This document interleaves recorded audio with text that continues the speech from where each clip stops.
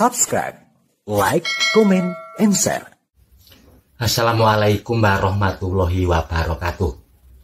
Rahayu, rahayu, rahayu. Jumpa lagi di channel Tafsir Mimpi. Di sini kita akan membuka rahasia mimpi-mimpi Anda bersama saya Pak Dewas Podo.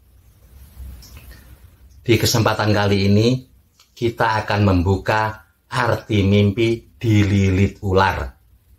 Ketika seseorang mengalami mimpi dililit ular, mimpi yang dia alami bisa menjadi pertanda baik, tetapi juga bisa menjadi pertanda buruk. Itu semua tergantung dari alur cerita yang ada di dalam mimpi tersebut. Tergantung di bagian tubuh mana Anda dililit ular. Tergantung jenis ular apa yang sedang melilit Anda. Langsung saja kita bahas satu persatu. Yang pertama, mimpi dililit ular besar di sekujur tubuh. Ini artinya Anda akan mengalami masalah ataupun kesulitan yang berkaitan dengan ekonomi. Bisa jadi Anda akan terlilit hutang ataupun kesulitan keuangan yang lain. Lalu yang kedua, mimpi dirilit ular besar di sekujur tubuh tetapi bisa melepaskan diri, bisa menyelamatkan diri. Ini merupakan pertanda baik yang artinya Anda akan terlepas dari kesulitan keuangan yang sedang Anda alami. Jika Anda memiliki hutang, anda akan segera bisa membayarnya. Atau jika ada kesulitan keuangan yang lain, Anda akan segera mendapatkan solusinya. Lalu selanjutnya yang ketiga. Mimpi dililit ular di tangan Anda. Entah di tangan kiri ataupun tangan kanan. Ini artinya akan ada rintangan atau hambatan terhadap pekerjaan ataupun usaha Anda. Akan ada masalah yang bisa menjadi penghambat pada pekerjaan dan rencana Anda. Selanjutnya yang keempat, mimpi dililit ular di kaki. Ini artinya Anda akan merasa terbelenggu. Akan ada rintangan yang bisa menghambat langkah Anda menghambat rencana atau pekerjaan Anda.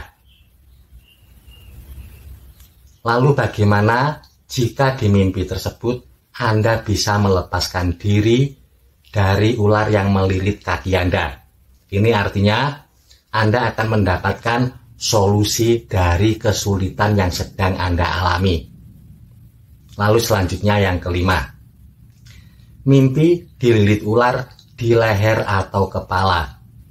Ketika Anda mengalami mimpi seperti ini, ini artinya merupakan sebuah peringatan untuk Anda lebih menjaga kesehatan. Karena ada potensi Anda akan sakit. Jika Anda bisa mengantisipasinya, insya Allah pertanda buruknya tidak akan sampai terjadi. Selanjutnya yang keenam, mimpi melihat orang lain dililit ular. Jika Anda mengenal orang tersebut, ini artinya orang itu sedang mengalami kesulitan dan Anda perlu membantunya. Tetapi jika di mimpi itu Anda tidak mengenal orang yang sedang dililit ular, itu artinya Anda sedang menjadi sumber kesulitan orang lain. Jadi perlu diadakan perubahan di dalam langkah-langkah Anda. Lalu yang ketujuh, mimpi dililit ular besar. Mimpi dililit ular besar hanya di salah satu bagian tubuh bisa menjadi pertanda baik tetapi juga bisa menjadi pertanda buruk. Yang pertama, Anda akan menghadapi kesulitan yang besar. Itu pertanda buruknya. Dan pertanda baiknya, ada orang yang sedang bersimpati kepada Anda. Jika Anda masih jomblo, ada seseorang yang sedang menyukai Anda. Lalu yang kedelapan, mimpi dililit ular kecil.